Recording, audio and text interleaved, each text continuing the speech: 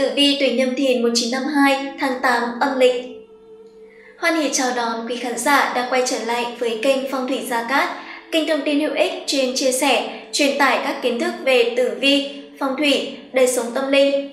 Đặc biệt được hướng dẫn và tư vấn bởi thầy Gia Cát, một trong những bậc thầy về phong thủy nổi tiếng tại Việt Nam. Theo tử vi học, những người tuổi nhâm thìn sinh năm 1952 có thiên can là nhâm, thì phần lớn là những người có cuộc đời gặp nhiều may mắn, đặc biệt là trong tháng 8. Cuộc sống của họ có được may mắn hơn người khác, về tài vận thì hanh thông, một gia đình ổn định, hạnh phúc. Trong số 60 con giáp, những người tuổi nhâm thìn cả đời được hưởng vinh hoa, phú quý, có quyền cao chức trọng. Hơn nữa, do những người này có tính tình hiền lành, cường trực, ngay thẳng, thích giúp đỡ mọi người, nên được thần tài chiếu cố, ban lộc trời cho. Và cũng chính nhờ những việc tốt mà tuổi nhâm thìn hay làm đã tạo nên cho họ những phúc đức cho con cháu trong cuộc sống, công việc luôn được quý nhân giúp đỡ, bạn bè yêu mến. Mặc dù thời gian trước có nhiều vất vả, gian truân, nhưng sang tháng 8 với họ là một kỷ nguyên mới. Sự thay đổi chóng mặt khiến cho biết bao nhiêu người phải cúi đầu, nể phục, và chính họ cũng bị bất ngờ trước những thành công này. Sự thành công may mắn của tuổi nhâm thìn đến từ đâu? Xin mời quý vị hãy theo dõi video ngay sau đây để biết thêm chi tiết. Sau đây sẽ là phần tổng quan của gia chủ nhâm thìn sinh năm 1952 tháng 8 âm lịch năm 2021. Tính cách người tuổi nhâm thìn có nạp âm trường lưu thủy, thường rất sôi nổi, hiếu động, không thích ngồi một chỗ hay không làm việc gì cả. Họ ưa chuộng cuộc sống biến đổi, nhiều thay đổi nên hay đi đây đi đó, đi chơi, du lịch, ra ngoại. Người này cũng rất thích làm việc hay nói chuyện với người khác, có niềm đam mê với thể thao. Do nội tâm luôn biến động, đầu óc nhanh trí, linh hoạt nên những người tuổi nhâm thìn mệnh trường lưu thủy học rất giỏi các môn toán, khoa học tự nhiên. Thói quen suy nghĩ, tư duy của họ giống như một chất gây nghiện, tự như chính những dòng chảy dài đến vô tận. Người tuổi nhâm thìn mệnh trường lưu thủy có đức tính siêng năng, miệt mài của một dòng sông trở nặng phù sa, bồi đắp cho cuộc đời đầy hoa thơm trái ngọt. Cảm xúc của người này rất linh hoạt, đa dạng, có nhiều cung bậc khác nhau. Xem tử vi tháng 8 năm 2021 âm lịch, gia chủ nhâm thìn, vận trình sự nghiệp. Nếu trong quá trình mở rộng lĩnh vực kinh doanh, phát triển thêm về phương diện khác mà gặp phải khó khăn thì chớ nên nản chí, cần phải kiên trì thì mới có được thành công. Nên hướng phát triển ra ngoài, nếu gặp khó khăn thì có thể xin sự trợ giúp của anh em, bạn bè, nếu có thể tìm được người cùng chí hướng thì vẫn có thể tính tới hợp tác, làm ăn. Nhâm dương thủy gặp đinh âm hỏa gọi là chính quan, nghĩa là thân bị khắc. Trong tháng này, gia chủ cần chú ý lời ăn tiếng nói, cẩn thận những thị phi từ miệng mà ra. Làm việc với cấp trên cần khôn khéo, tránh bị áp chế, sắp đặt, ảnh hưởng đến công việc. Thứ nhất về sự nghiệp quan vận. Gia chủ tuổi nhâm thìn sinh năm 1952 nếu vẫn đi làm, bản mệnh phải đối mặt với khá nhiều khó khăn, thách thức trong công việc, đòi hỏi phải tổn hao nhiều công sức hơn mà thành quả thu về chưa chắc đã đúng theo mong muốn. Hung vận khá lớn, bản mệnh sẽ dính vào họa thị phi tranh cãi, vừa ảnh hưởng công việc, vừa khiến uy tín bị giảm sút. Nguyên do chủ yếu từ việc đương số khó kiểm soát cảm xúc cá nhân sẽ nóng vội, phần ngôn có phần phóng khoáng, khiến kẻ tiểu nhân nóng mắt, tìm cách phá quấy, hãm hại. Tuy nhiên, trong cái hại lại có cái may, khó khăn hiện tại đồng thời lại thúc đẩy tuổi nhâm thìn nỗ lực hơn nữa, vận dụng linh hoạt hơn năng lực sẵn có của mình để xoay chuyển tình thế.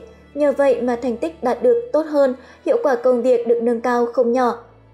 Để tiếp tục cải thiện vận may trong sự nghiệp năm 2021, thầy Gia Cát khuyên gia chủ hãy luôn mang bên mình vòng tay tam hợp quý nhân, thân, tí, thìn, giúp hóa giải xung sát, chưa mời quý nhân, quý thần tương trợ, dùng để hóa giải thị phi, tiểu nhân hãm hại.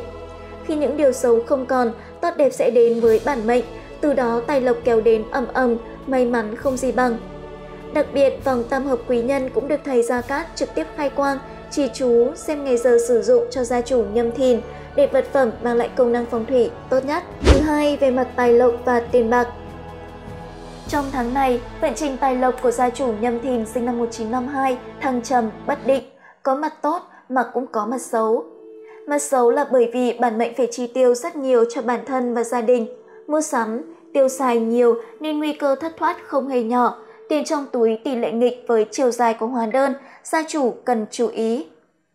Mặt tốt là nhờ tài trí và sự nhạy bén vốn có, lại thêm sự chăm chỉ, không chịu ngồi yên một chỗ mà biết tìm hiểu, tìm thêm nghề tay trái hoặc đầu tư nên cũng gặt hái được những thành quả không nhỏ bên cạnh nguồn thu từ công việc chính. Thu nhập tăng lên đồng nghĩa với các khoản phí tổn cũng tăng không ít, cần lên kế hoạch tài chính chi tiết cụ thể để duy trì nguồn tài lộc bền vững. Thứ ba, về mặt sức khỏe. Tháng Đinh Dậu năm Tân Sửu, sức khỏe của người tuổi Nhâm Thìn rất dễ tiềm ẩn những tai họa ngầm. Do đó, bản mệnh cần chú ý đến bản thân nhiều hơn, sinh hoạt khoa học, đừng chủ quan khinh suất, kẻo họa ập xuống đầu.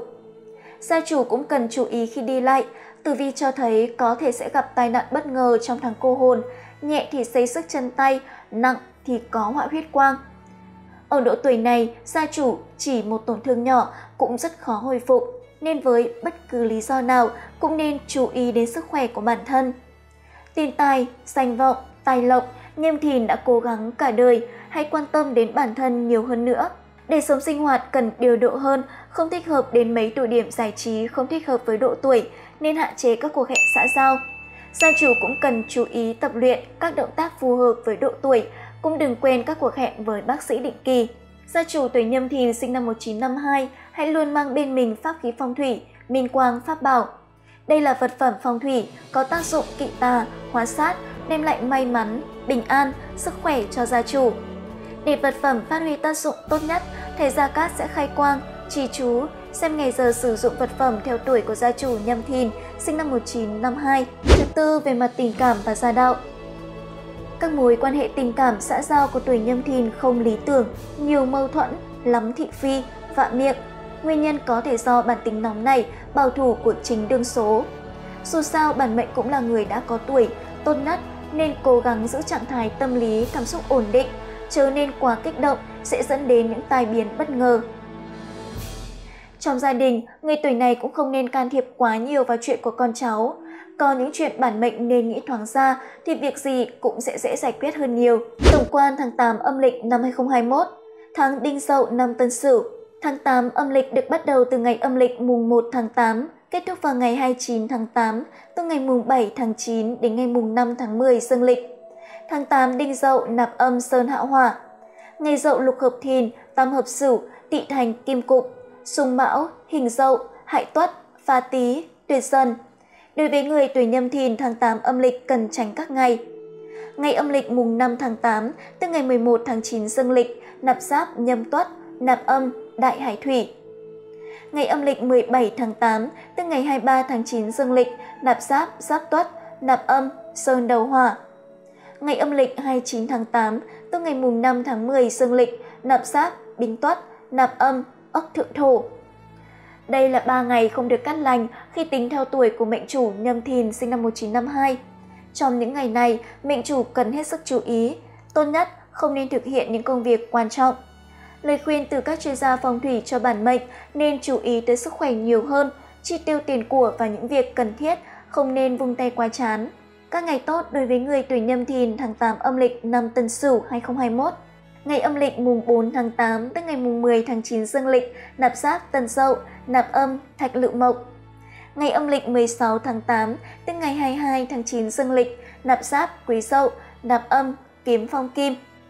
Ngày âm lịch 28 tháng 8 tới ngày mùng 4 tháng 10 dương lịch, nạp giáp Ất Dậu, nạp âm Tuyền Trung Thủy. Đây là 3 ngày cát lành trong tháng để gia chủ tiến hành các công việc liên quan đến xuất hành hay tiến hành những công việc quan trọng sẽ dễ có kết quả cao. Hoặc những vấn đề nhỏ trong gia đình tiến hành đều hết sức thuận lợi. Ngoài ra, việc lựa chọn ngày tốt cần phù hợp với tuổi của gia chủ trong những công việc như tiến hành động thổ, ngày giờ mua xe mới, ngày giờ cưới hỏi. Để chọn được ngày giờ đẹp phù long tương chủ, ngày giờ tài lộc của gia chủ, quý vị hãy để lại thông tin dưới phần bình luận theo mẫu, họ tên, ngày tháng năm sinh, số điện thoại hoặc có thể liên hệ trực tiếp tới số hotline đang hiển thị trên màn hình để được tư vấn hoàn toàn miễn phí.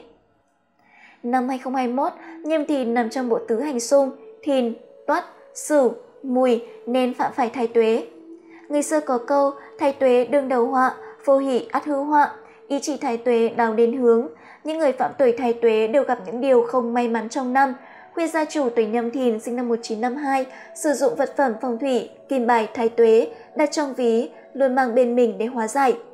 Đặc biệt kim bài thái tuế của kênh Phong thủy Gia Cát được thầy Gia Cát trực tiếp khai quang, chỉ chú, xem ngày sử dụng cho tuổi nhâm thìn. Để có thể mang lại tác dụng phong thủy tốt nhất hiện nay, gia chủ hoàn toàn yên tâm khi sử dụng kim bài thái tuế của thầy. Quý vị thân mến, trên đây kênh Phong thủy Gia Cát đã chia sẻ với quý vị về tử vi chi tiết của tuổi nhâm thìn 1952 tháng 8 âm lịch. Hy vọng rằng thông qua chương trình ngày hôm nay sẽ giúp mọi người có được những kiến thức hữu ích để từ đó tránh hung hòa cát, gặp được nhiều may mắn hơn trong tháng 8 âm lịch. Cuộc sống đôi khi có những khó khăn để thách thức chúng ta. Vậy nên đừng quá bi quan, hãy vững bước tiến lên vượt qua mọi thử thách, hoàn thành sứ mệnh của mình.